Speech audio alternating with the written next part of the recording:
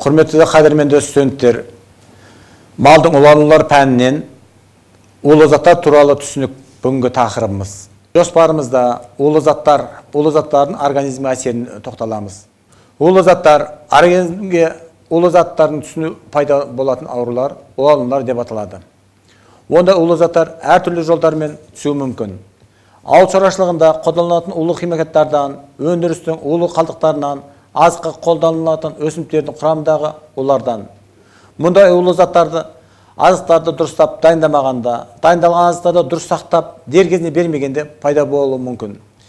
Кей кезде улы заттар мал азығына дайын түрінде араласып кетуі де мүмкін.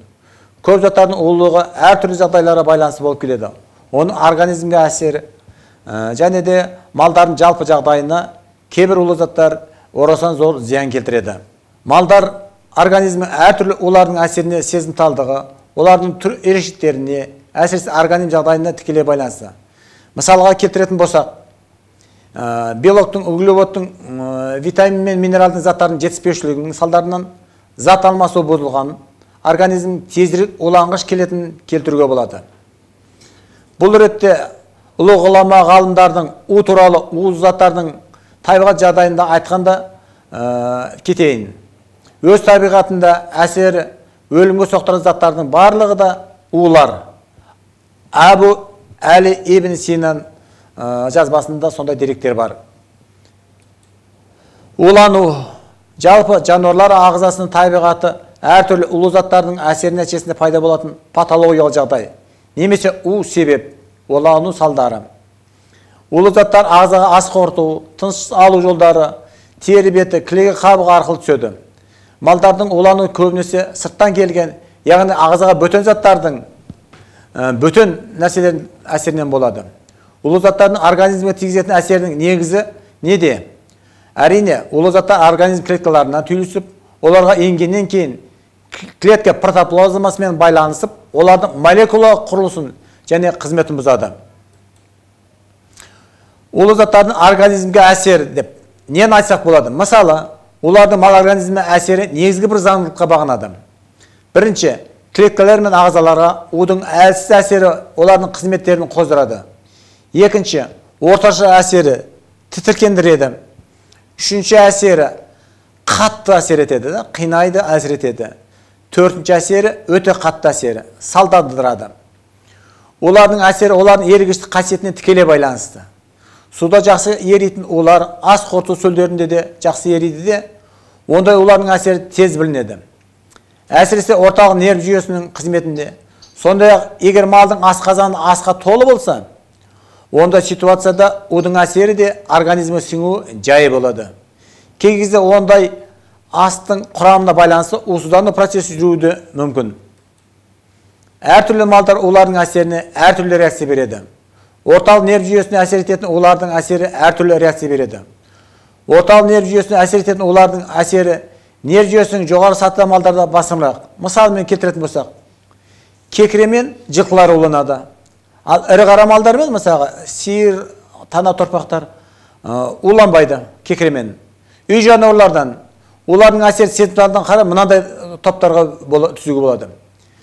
Бірінші есек екінші қашыр жылқы мысық ит шошқа үй құстары ірі қара малы қой және ешкі және қоян. Мұнда ерекшелік екі жағдаймен түсіндіріледі. Бірінші жағдайында өсімдік уларының негізінен орталық нерв жүйесіне әсер етуі. Ал екінші жағдайында ас қорыту жүйесінің құрылысының ерекшеліктері. Және де осындай заңдылық барлық кезде сақтала береді деуге болмайды.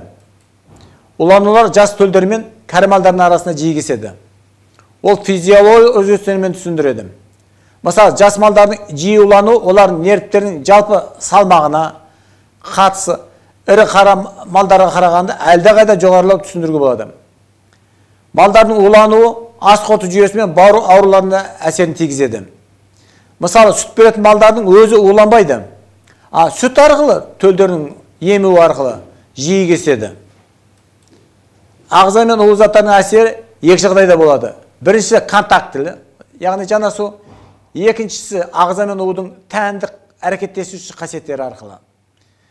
Және де ағзаның улы заттарына реакциясы мынандай факторларға байланысты. Бірінші малдың уға сезімталдылығы. Екінші ағзаның жағдайы. Үшінші удың ағзаға ену жолдары.